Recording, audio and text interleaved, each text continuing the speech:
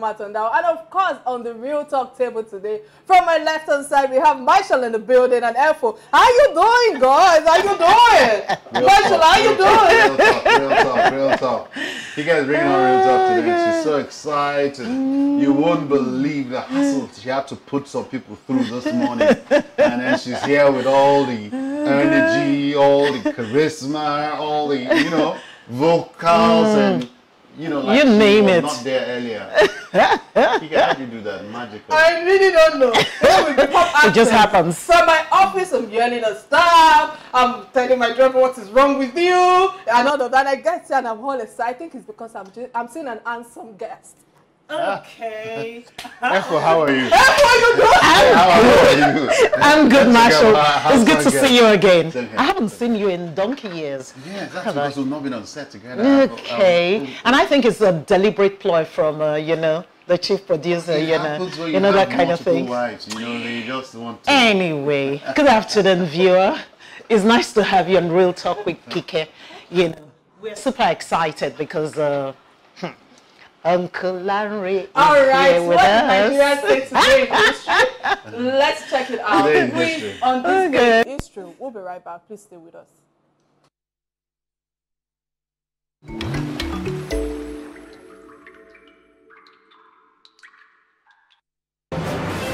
This day in history, exactly 23 years ago, 15th of June 1998, General Olusegun Aremu Matthew Obasanjo was released from prison. The man of destiny, little did he know after his release from Kuje prison, few months later, he would be heading to Aso Rock to be the first Nigerian to rule the country in both military and democratic dispensation.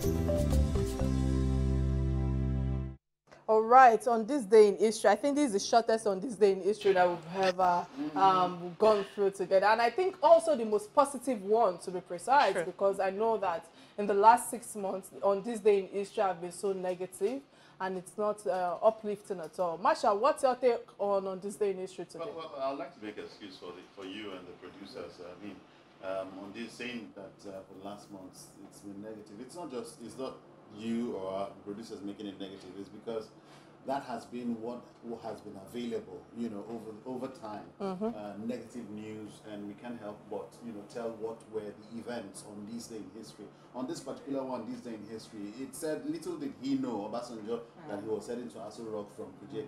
I don't think that was the case. I think it was a ploy. I think he knew. I think he was educated and enlightened about what was going to be his fate as he was leaving uh, Kuje prison. You know, there were these negotiations, negotiations that went on that we didn't know. Are you for real? Yes. Okay. What's your You submission that- on, on You know that better. For me, I just think it's just uh, destiny playing out. It played out then, you know, because uh, for I, I I was really quite young when he was first the uh, head of state, you know, and only for him to be the democratic president, you know, of the country, you know. they needed to bring a Of compensation. course, oh, definitely, Yeah, so definitely. I quite agree with you. Yes, I agree with you. You know, and it saved the situation It did, somewhat. it did. It did. All right, it's time for a quick break from our sponsors. Please stay with us. We'll be right back. Welcome back. The amount of issues and challenges Nigerians go through are enough to overwhelm us. Issues of insecurity, violence, adoption, poverty, inflation, economic instability are some of these issues or challenges, to mention but a few. Many of these issues are devastating for Nigerians or average Nigerians, but only a few examine the mental health impact of these challenges for striving and struggling Nigerians. Part of the mental and psychological and emotional challenges faced are blood pressure related diseases, suicides and domestic violences. And also i must mention this work on the performance. It is interesting to note that the world health organization who has revealed that nigerian has the highest suicidal rate amongst african countries in 2016 with over 17,000 lives lost to suicidal hmm. as at 2019 if that was the figure in 2016 nothing leads more to suicide than poor mental health and frustrated lifestyle. The question on my mind is, has the figure reduced? After the pandemic scare, loss of lives and jobs could have been, you know, better and could have also, shall I say that the insecurity and economic downturn, poverty and violence has taken an upturn and could Nigerians be better in terms of their mental health and psychological stability?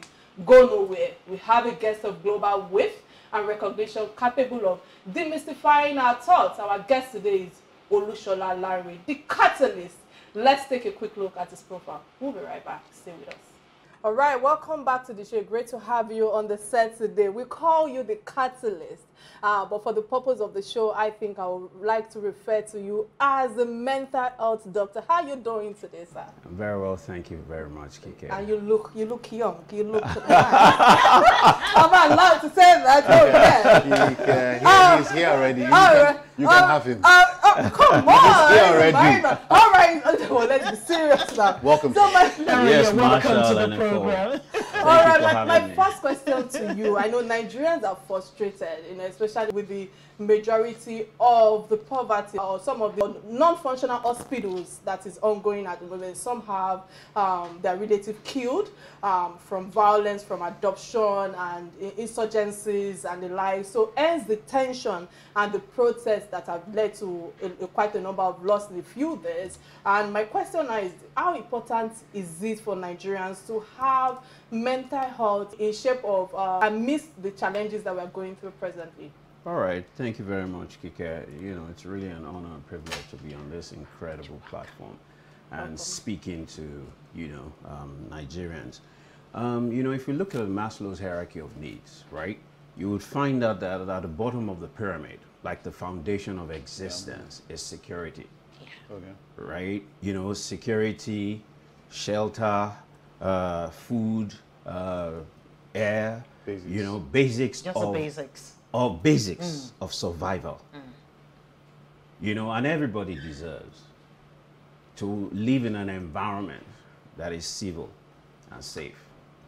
If not, right, then we can safely say that we live in a jungle. Now, the rules of engagement in a safe environment are different from the rules of engagement in a jungle. In a jungle, the lion takes anything that he wants. There is no equity, there's no justice. Right? He has the right to do whatever he likes.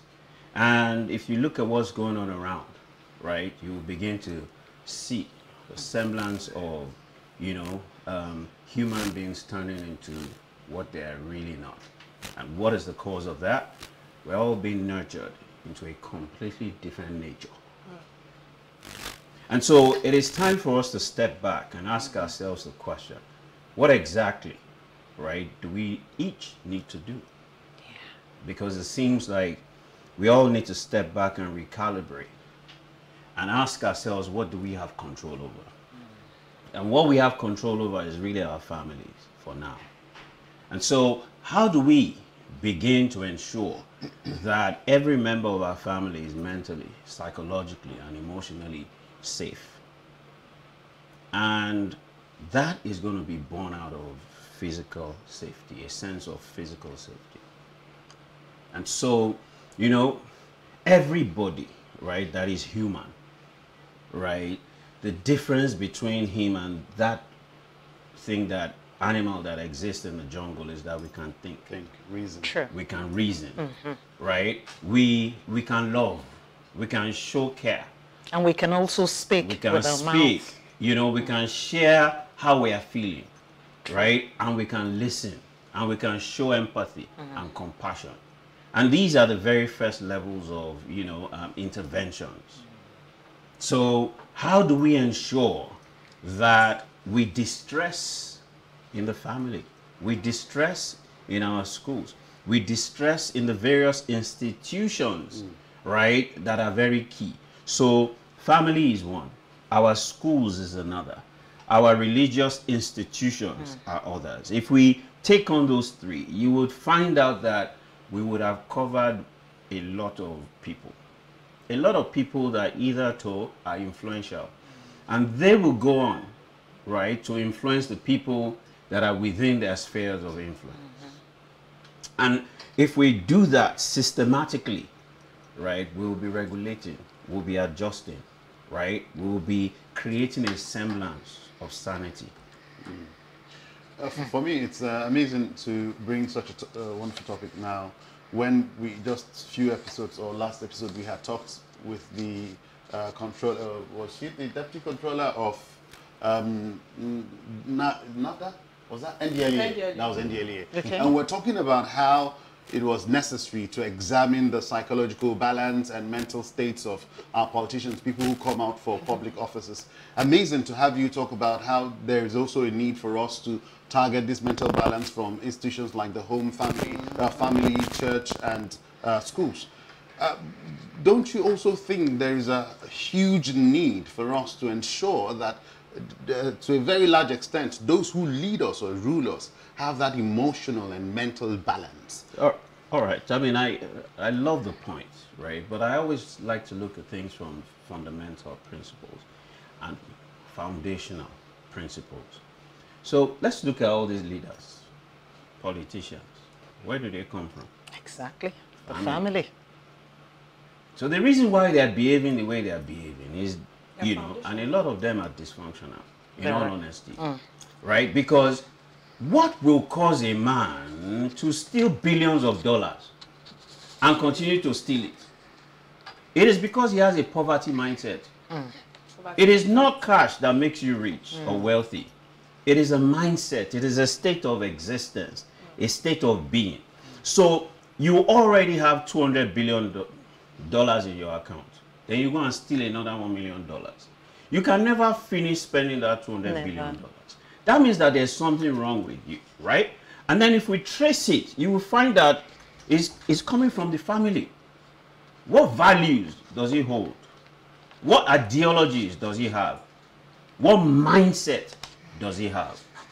Now, so most of our politicians are not okay. However, let's backtrack to us. We do not understand that we have the power. That's right. Democracy is power of the people. So no leader can get to office without votes. So who put them there? We did. Are we thinking right? Or stomach infrastructure goes back to the family. If the people that are influential in your family tell you that you know what, no matter what, anybody gives you this, Don't no. forget your values. if the religious institutions, right, and the schools, you know, they teach values, ideologies of transformation, of, you know, um, choosing leaders with morals, choosing leaders that are going to take us to the next level Makes sense. right? If we all have a vision, a dream, there is something called the American dream, mm-hmm. right? Everybody believes that, man, America is a land of opportunities. Do mm-hmm. you know what that does? Mm. But if you ask any Nigerian, eh, tell me about Nigeria. Ah, there's They, almost, they almost nothing. negative. Almost Some say nothing it's the to first say. hellfire, so Yeah, we don't, we don't need you know, and, and there's a, there's power In the spoken word. in the spoken word. The mm. power of life and death lies on the tongue. lies in the lies tongue. in the tongue. But out of the abundance of the heart, the mouth speaks, right? So it is what we have in our hearts.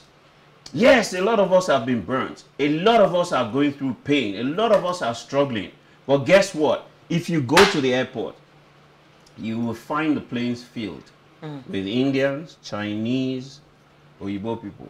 What are they coming for? but we are going to. Ca- They say that in the capital of Nigeria now is Canada. Mm, True. Uh, Am he? True. So we are running away from where there's opportunity, And they are coming in and they are coming in. because they're seeing what we, we are cannot not seeing. see. Look, if you do a research, you find out that right, more millionaires and billionaires are made in times of crisis. Why? Money is nothing but a store of value. Cash is not money. Value is what translates into money. Mm. And what is value? You solve problems. You take away pains. What country has more problem than Nigeria? None. What country has natural resources like us? None. What country has what we have? The number of people, the kind of will and drive that we have. Look, it doesn't, it's not rocket science to turn Nigeria around. Absolutely not. You just have to ensure that number one, the environment is right, mm. the mindset of the people are right, and you help the people change their beliefs about mm. this country.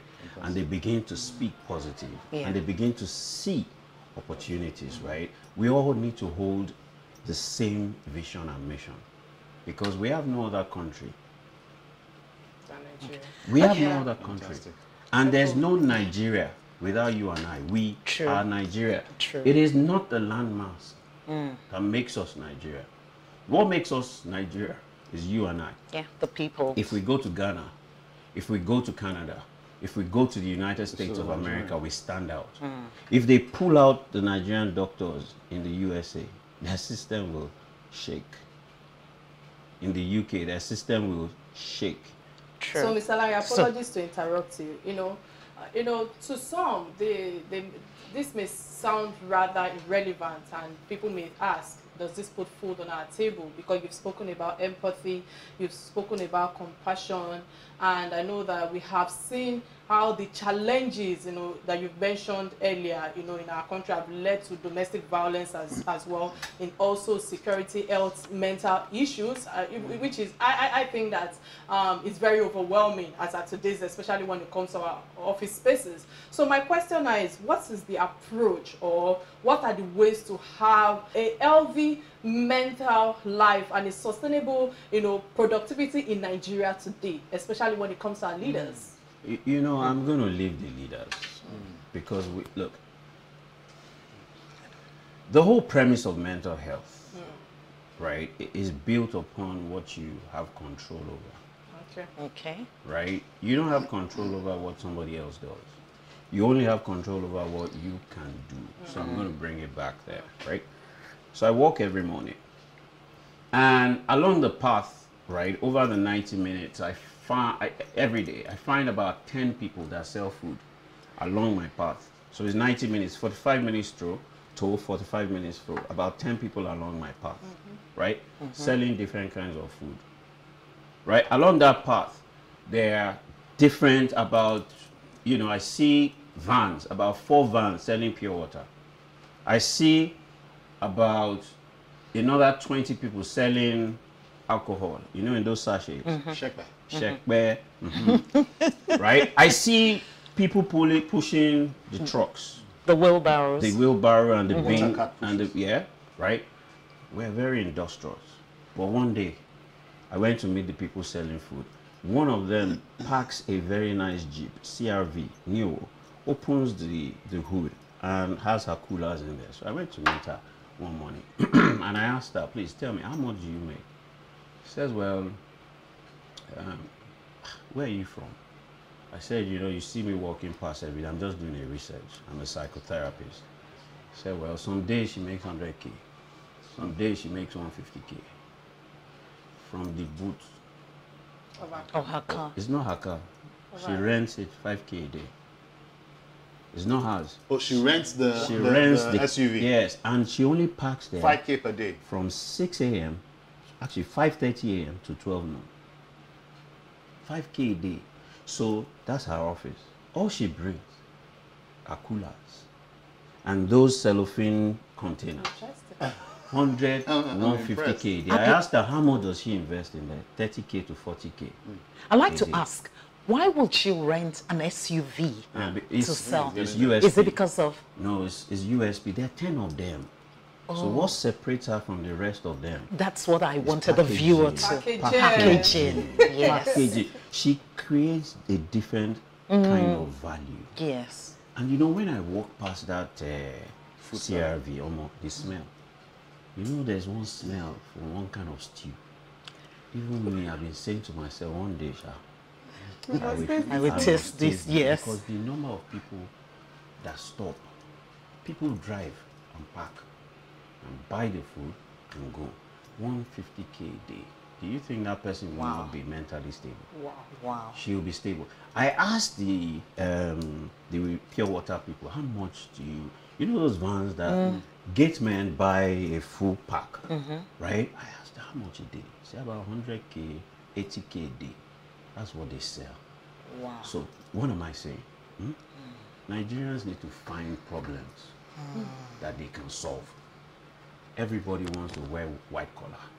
Everybody wants to do correct deals, correct jobs, right?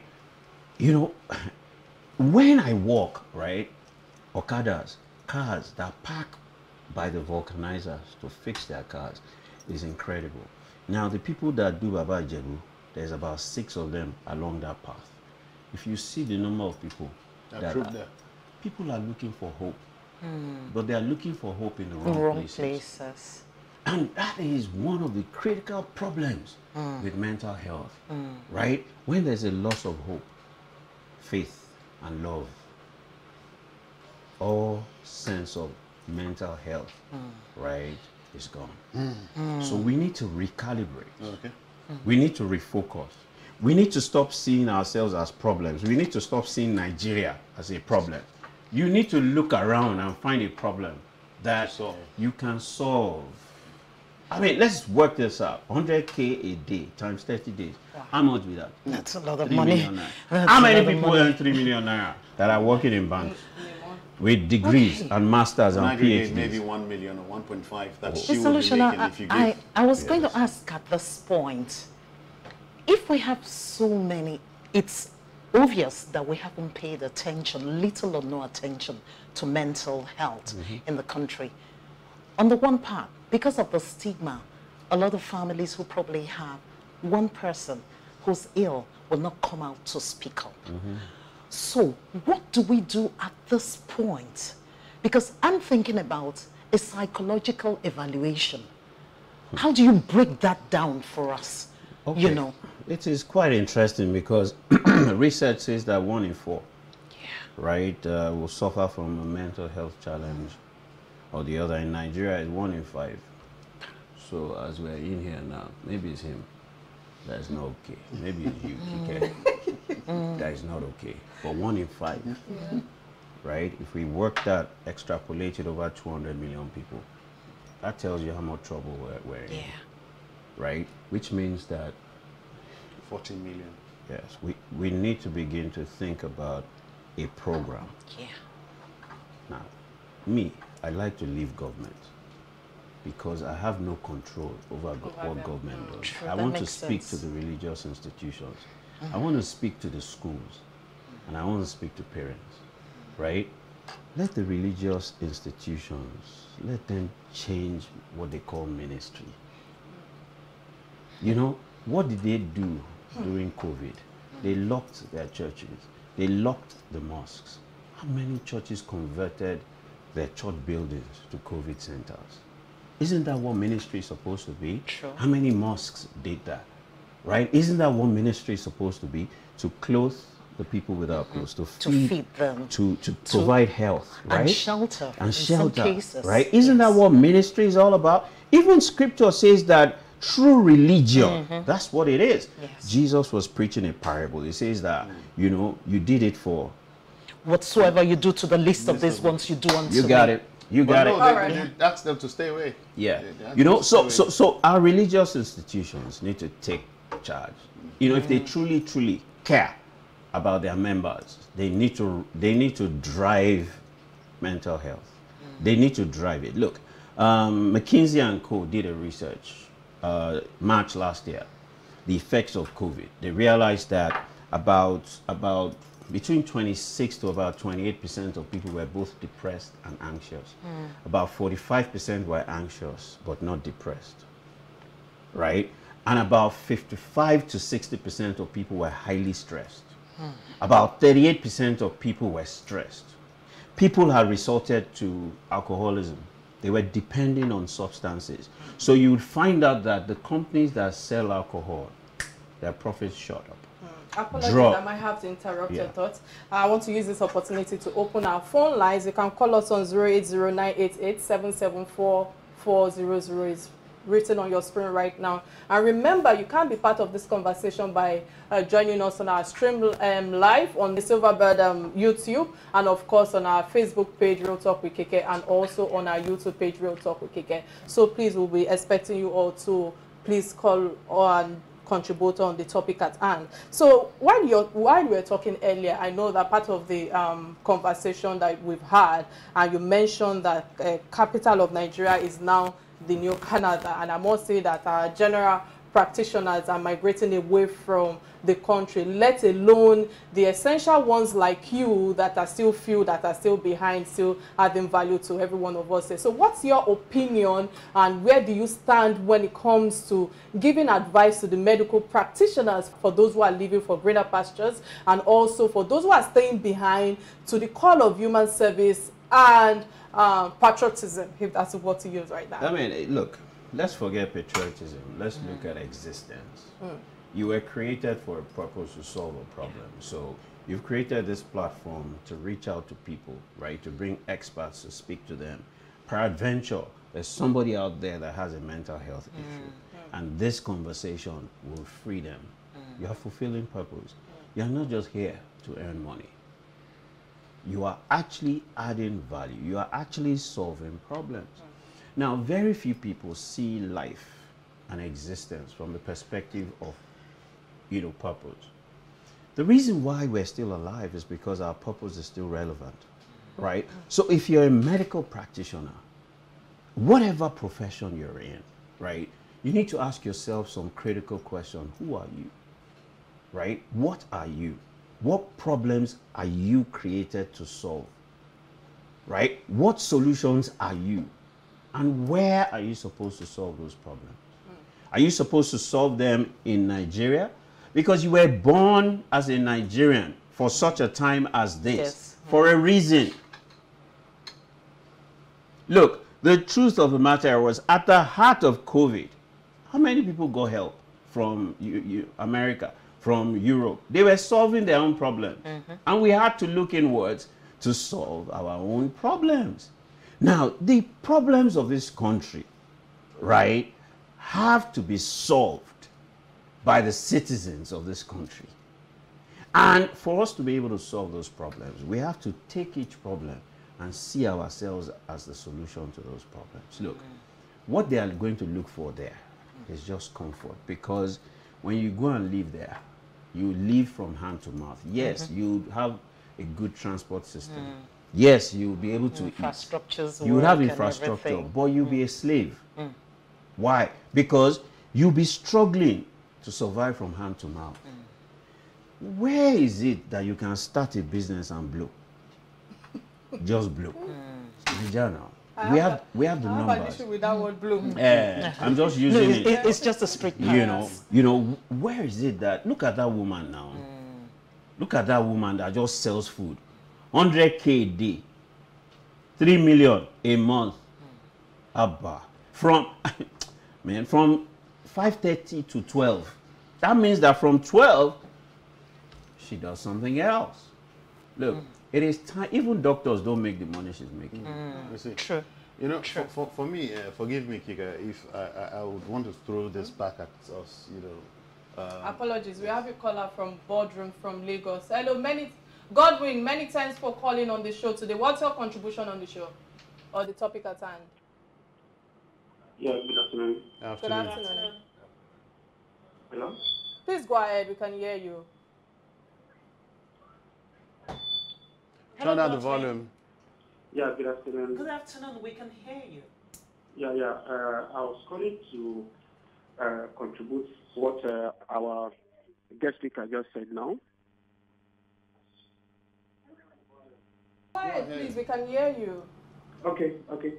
So, uh, regard what our guest speaker just said now, regard uh, Nigerians traveling out and uh, expatriates coming to Nigeria. Yeah, I just want to uh, chip in some factors there. Please go ahead. We can hear you. Okay. So uh, one thing we need to do here is how we our our leaders are watching this program and to know that we, the leaders, are the reason why some Nigerians are going out to other countries to attend to some stuff.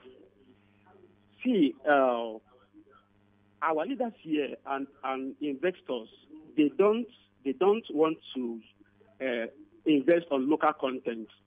We have engineers here. Okay, let let me take for instance, somebody uh, an, a, a technician who is not even a qualified technician will come from China, China, uh, China to come to Lagos and come to Lagos and be and, and be giving instruction to a trained engineer here in Nigeria. Do you understand? So we we, we, we can we can we can arrange a, a million dollars. We can pay even a, all right, many Uh, thanks, uh, Godwin, uh, for making your point. Um, I think we'll have to go on a quick break and get a message from our sponsors. Please stay with us. We'll be right back. Glad to know you're still right there with it. In case you just joined the show, today's conversation is on the mental health of Nigerians amidst the country's problem and tension. How should Nigerians navigate the psychological well-being? How can we be optimal in terms of productivity? Our guest on the show is popularly known as the Catalyst, but today I like to call Lanre Olusola the mental health doctor. Again, do not forget that you can be part of this conversation by calling the studio number 080 988 77400 and of course it's showing on your screen right now. And also make your comments on our social media platform Real Talk with Kike and of course uh, okay I forgot to we're not on Twitter. All right. We are also streaming live on YouTube. And you can also subscribe to our YouTube channel Real Talk with Kike and again many thanks for all you've been sharing thus far. It's important for me to ask this question because I know institutionally there's a rigid structural approach to mental health and especially when it comes to the social well-being. Only a few out of the box thinkers like and visionaries like you uh, provide vital wellness services or service. So my question now is there um, any structure or whether um, governmental or ngos um, to your kind of service or practice in nigeria? Um, well, you know, every every Nigerian is just trying to do their best okay. Mm. In every sector, mm. whether it's banking, whether it's health, whether it's you know, we we live in a system that is completely broken down. That's the mm. reality, right? And you know, Nigerians are well-meaning, and and Nigerians that believe that they have a calling, right, or they see themselves as entrepreneurs, are trying to, you know, make their own contributions. Truth be said is the ratio of prac- mental health practitioners to the population is abysmal. Mm. Mm. Mm. Right? If you looked at it cumulatively we probably don't have up to 20,000 from doctors to Nurses. psychiatrists to psychologists to mm-hmm. nurses to doc- to coaches we probably don't have up to 20,000 now the good ones that we have onto ja hmm. in Canada, the in America, Nigeria. yeah, right? And and, and there's International. been a lot of brain drain from Saudi Yes. days, Brain drain, yeah. right? From our universities. That's why our, our federal government institutions, the educational system is because it is fourth level, fourth grade professors, right, that are lecturing, right? The, the, the, the core professionals then will not sleep with a student for to give to oh, give her grades. Those those professors that taught us, they would never They stoop were seasoned. they would never stoop that Never. low. But so so so you know we we, we the system has the, the standards of the systems have dropped, right? And yes, individuals and you know NGOs and entrepreneurs are doing the best that they can. And that's why, you know, collaboration, right, is very, very key. Collaboration with the religious institutions, collaborations with the schools, and then collaboration with families. Apologies, I Masha. might have to interrupt your thoughts again. We have Bernard from Kano. Hello, Bernard. What's your contribution on the topic at hand? Hello, good afternoon. Good afternoon. Good afternoon. afternoon. Okay. Please, uh, my name is Bernard. I'm calling from Kansas. All right. Go ahead. Okay. Please, I want to part of uh, the program we talk. Okay. Um, please, um, there is uh, something I want to get straight to. You see, um, the host, the the psychologist that is there mentioned uh, something that is uh, um, very very important to me. I want to I want to educate. All right. Yeah. You see, looking at those, there are, there are a lot of Africans in Nigeria. And uh, considering what he's saying, I want to believe that most of these Africans are frustrated. Africa need a living environment for them to thrive. But it's unfortunate that in this part of the world, they're still facing judgment authority. Most of these Africans you see, they were trained by few people in those days when Nigeria was good. If you go to Enugu State, you have a, a company they call Anamco. You come to Kano, you have a company they call, uh, for instance, I'm talking about All right. Okay. Many um, thanks. We, we- we had, thank you, Bernard, for that contribution. Uh, well, for me, it's um, how the value attached to the subscription to the kind of services that you offer. We don't see, just like, let me just give very parallel example. They say the white man would want to show you, express his love by giving you a rose flower, but we don't believe in rose flowers and all of that here. in fact, when a friend Flowers of mine die. instead of rose, rose flower, I'll give you I will ugu jump or bitter leaf, you know. So in this part of the world, Nigeria specifically, I mean, I've seen people exhibit crazy, crazy. You want to see craze, you see it on the streets. Uh, so the patronage to services like yours, it seems to be low. You don't hear people say, "Oh, you, I think you should see a, I think you should see a, uh, what they call them Therapist. therapist, Therapist. Or a wellness you know, coach. wellness or- coach, you know. It is only in seminars and retreats and you know conferences that we hear people like you churn out so much wealth of uh, wisdom, and then we were like, wow, wow. Why is that here? It, it is because Nigerians are not open to self-development. Good. They don't realize that the best investment you can make is not in stocks or bonds. It's in your health. Is in yourself. If you don't have a sound mind, you've mm-hmm. lost it all. Self-development. Mm. So it's a sound mind. Is how do you develop your spirit, mm. right? Your soul, and your physical essence, right? That is your first investment. No, it's something else. They want to wear the designer. They want to impress. They want to pepper them. How far would that take you? Nowhere. It cannot sustain even any money that you make. All right, apologies, I might have to interrupt your thought again. We have a, a caller from Bini. Hello, what's your name and where? Okay, I know you're calling from Bini. What's your contribution on the topic at hand? Good afternoon. Good afternoon. Um, Please go ahead, we can hear you. Go ahead with your contribution. okay. Good afternoon. Good afternoon. Good Afternoon. afternoon. Afternoon. please, can you just go ahead, please, because of time? Okay. Um, you were saying about why the doctors do go out of the country to other countries, but I would like to say that I think the reason is because why do our presidents leave our country and go to other countries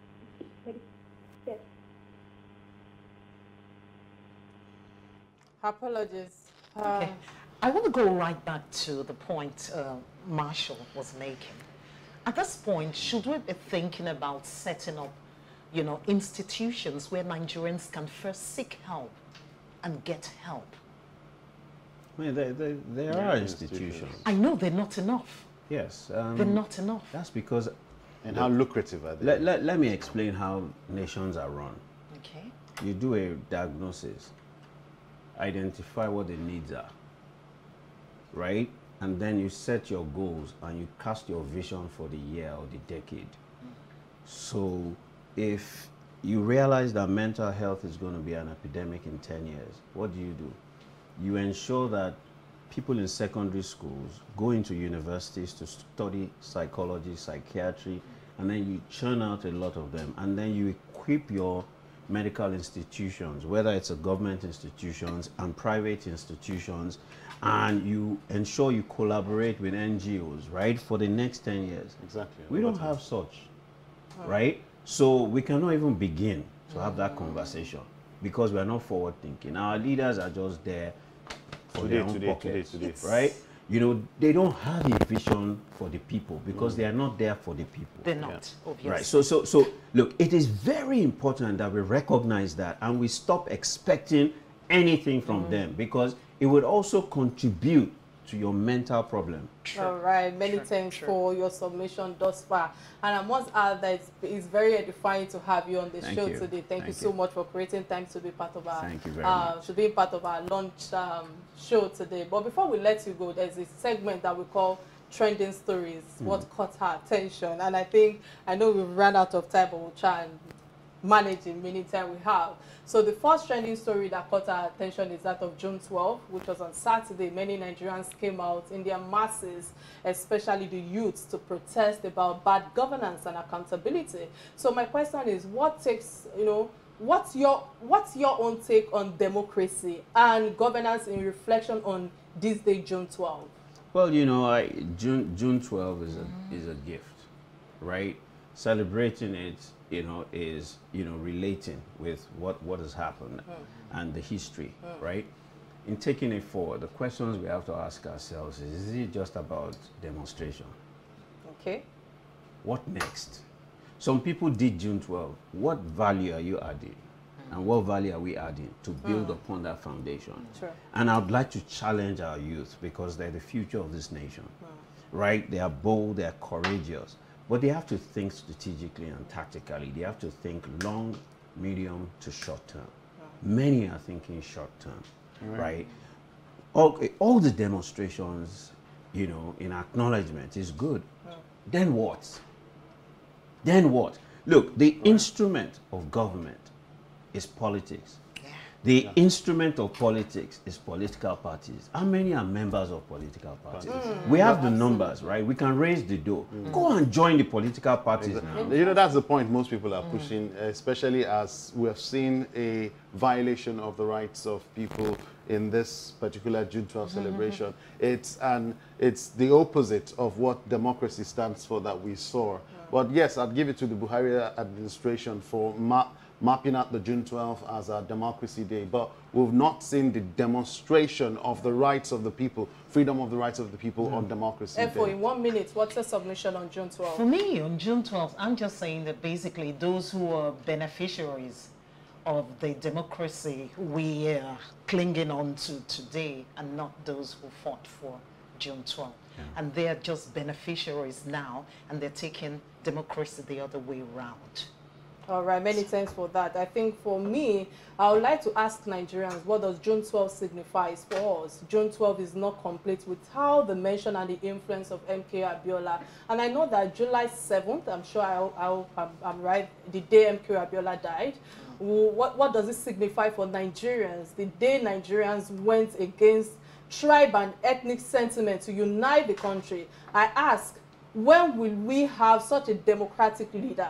You know, Lanre Olusola just asked a few minutes ago, ago that what are the youth, what are the value that they are adding to what June 12 signifies. So as a straight, um, successful accountant who MK Abiola was and was a brilliant person who in his manifesto, which uh, was um, which was about getting rid of poverty and he knew that the issues of the economy was to create job opportunities. So June 12, you know, struggle was a catalyst. Let me use that word because of our guest today for further struggle of democracy, you know, and people like Gani Fawehinmi, um, a human rights and social activist who went to jail and also died. We have Yinka Oduma, Oduma King of blessed memory too. Uh, they were strong members of June 12 struggle. So people like Chief Shegun Shoba, you know, and others who continually struggle for the progress and democratic structure of our country. So, you know, in terms of equity, in terms of accountability and good governance are the proceed of democracy. So in my humble opinion, it should not have, you know, I think M MKO Abiola shouldn't have died because sometimes I feel that most people always say that ah, he's, he's dead, so we've given him a position of an hero and the likes.